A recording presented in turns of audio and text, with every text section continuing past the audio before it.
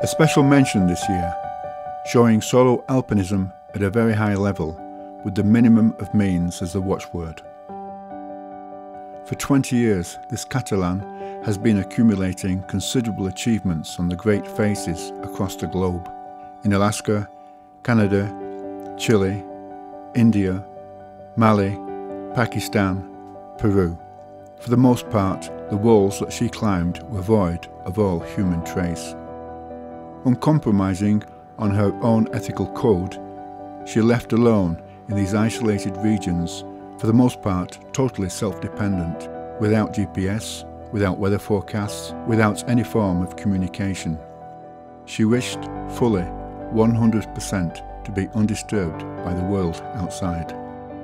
These acts of bravery and determined resolution call for days and weeks in the mountains. For the route Naufragi on the Valdang Peak in India, she spent 25 days alone on the face. It rained every day. This was, after all, the monsoon season. It was probably a bad idea, she says.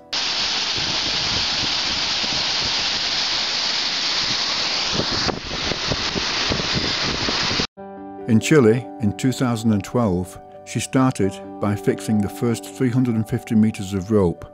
She then cast off for 32 days on the face. That is to say, a total of almost two months alone in this little known and wild area. Her longest epic was in Alaska, with an extremely long approach, taking her 36 days of portering. 11 return trips for the ascent and 9 return trips for the descent, with a cumulative total of 540 kilometres. The 17 days on the wall seemed short in comparison. Her climbs were carried out in capsule style, never returning to the foot of the face. She obviously preferred minimal gear.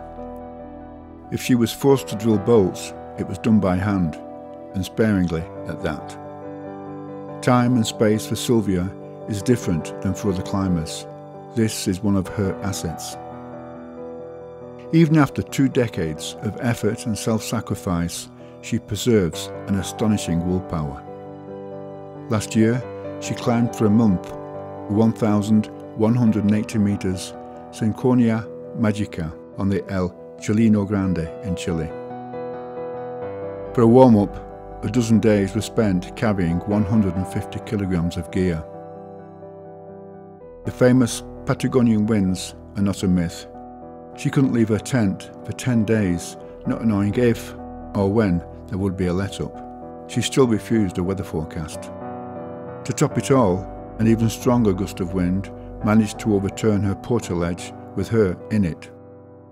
Silvia is definitely a special climber.